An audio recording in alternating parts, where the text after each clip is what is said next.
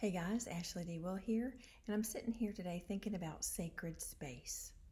Have you ever thought about sacred space? Well, sacred space is something that's very important to have in your life, and I just wanted to share a few thoughts about sacred space if that could be of help to you. Now, um, the first thing we want to think of when we think of sacred space is the space inside us if you're a believer, it is the space where the Holy Spirit of the living God lives and is where you are one spirit with Him. Okay, that's a very sacred space. And that, that space has been carved out by the Lord for Him to abide there. So that's the first place we want to focus when we think about sacred space. That is a sacred space that has been given to us, and we are temples of the Holy Spirit, right? We are jars of clay and we carry this around inside of us. So it is our responsibility to maintain that space, to respect that space, not to grieve and quench the Holy Spirit. And when we do, you know, you can say, I'm sorry, help me to have a faster learning curve. Okay? Okay, the second place we want to look when we think about sacred space is um, looking upward in our relationship with the Lord when you have a relationship with the Lord, there is a sacred space within you where He lives. There's also a sacred space above you that goes straight up to the throne room. And that is a sacred space. We want to keep that space clear and flowing so that we live and move and have our being in Him. And when He says left, we step left. When He says right, we step right. When He says stop, we stop. When He says go, we go. When he says speak, we speak. When he says don't speak, we don't speak. Okay, this is alignment. This is alignment with the Spirit of the living God. And at this time in history, it is imperative for believers to align themselves with the Spirit of God. He is our life source, He is everything to us. Okay? So that's the second um, idea on sacred space.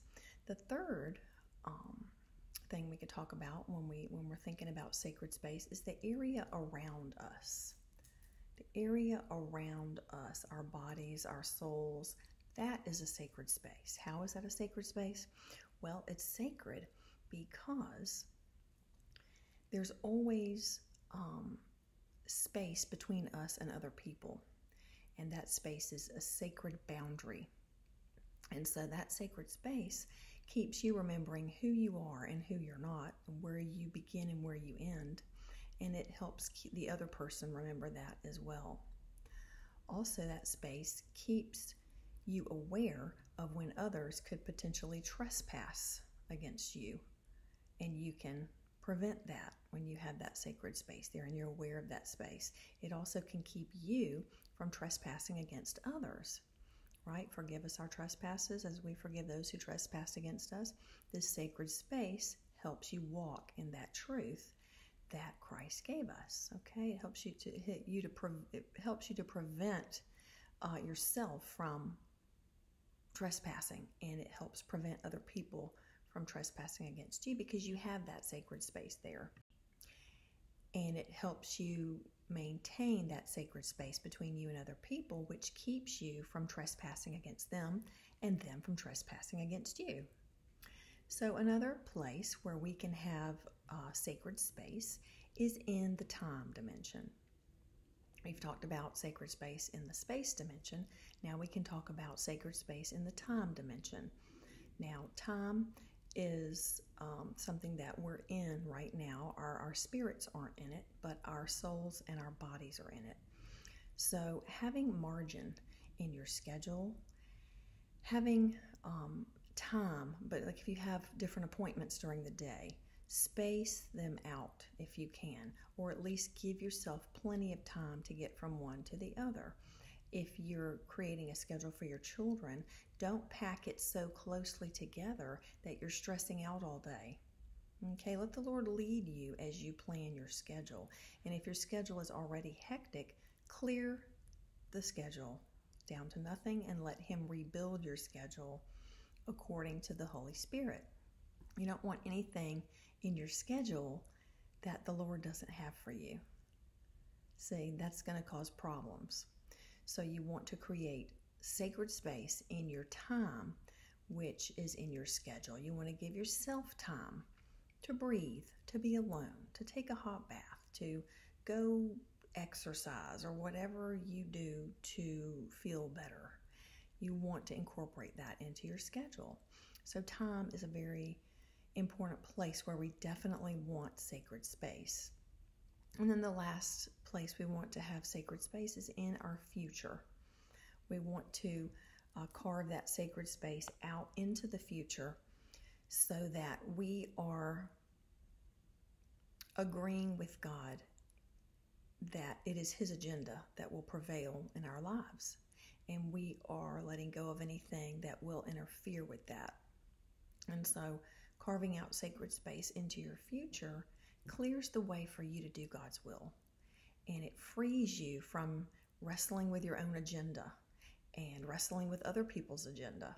Those agendas don't matter, they lead to nothingness. So, into your future, the future path, whatever lies ahead for you, and whatever that may look like, clearing sacred space in that area as well is important in your life. Okay, so let's review the different places where we want to have sacred space. Inside of us, we want to have sacred space. We want to have it upward, sacred space going vertically, because that is our connection with the Lord. We want to have sacred space around us because that is a sacred boundary. We want to have sacred space in our time, margin, and room to breathe. The world accelerates in its stressful way, we can do just the opposite and we can refuse to walk in that chaos. And the last place is in our future.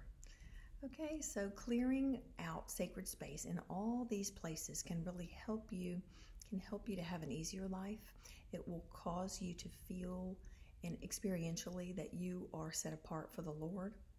It will lower your lower your um, blood pressure for one thing. It will improve your relationships and it will cause you to be able to internalize, personalize, and internalize the scriptures at a deeper level.